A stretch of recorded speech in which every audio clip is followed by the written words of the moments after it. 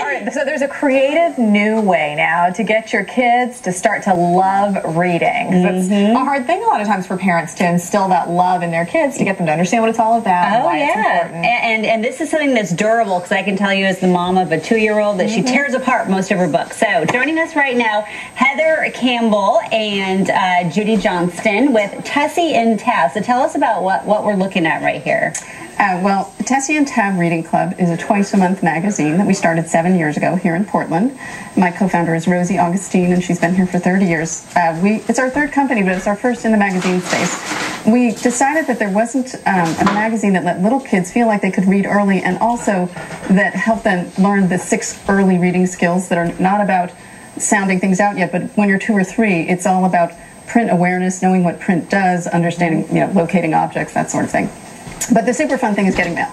And it comes twice a month, so it's twice as often as anything else. It always comes in an envelope because they want to open that. and it's addressed to the child. Addressed in the child, big label. The first issue has the parent's guide to building early reading skills, which covers those six skills of early literacy. But um, and the first issue that they will get is called New Friends. After that, they get um, whatever we're mailing that time. The last one we mailed was uh, today. We mailed skating lesson. Um, last week we mailed, or two weeks ago we mailed Stop Bad Habits, which is a really funny one that uh, is about all the kids at their school either pick their nose or bite their nails or suck their thumbs. And one of the nice things about Tessy and Tab, even though it's designed for the child and it's designed for the child to be able to read, even if they can't read yet, it's very it's fully illustrated so they can see that.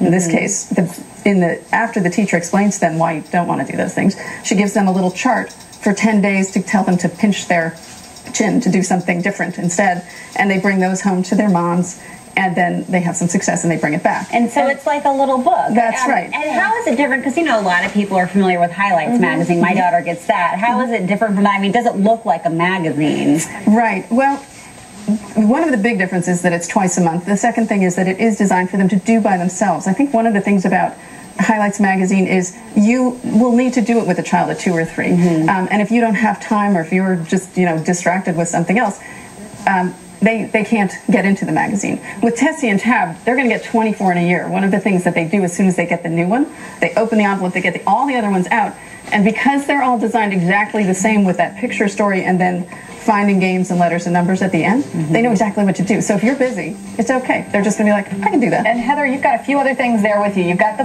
book, but then you've got a couple of other items on the side there. What else is there? here? These are the three kits that we have. We have one for kindergarten confidence that you can get before you, maybe this summer before your kids go back to school.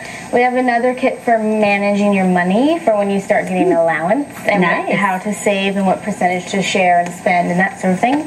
And then we have the reading starter club kit, which is so if you want to give it, present it to a new kid, and they can get six extra books that come in the mail that come along with this, so that they get started.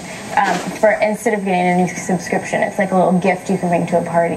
Okay, well, okay. thank you both so much. And I like that and this Heather. will last in the bath. I, I wanted to point that out because my daughter likes to bring things in the bathtub with her now. Right, So right. It yes. feels like it'll last at least for a little bit. That's Thanks terrific. for coming in. Thank you very much. Hey, coming up next on Keep It Local.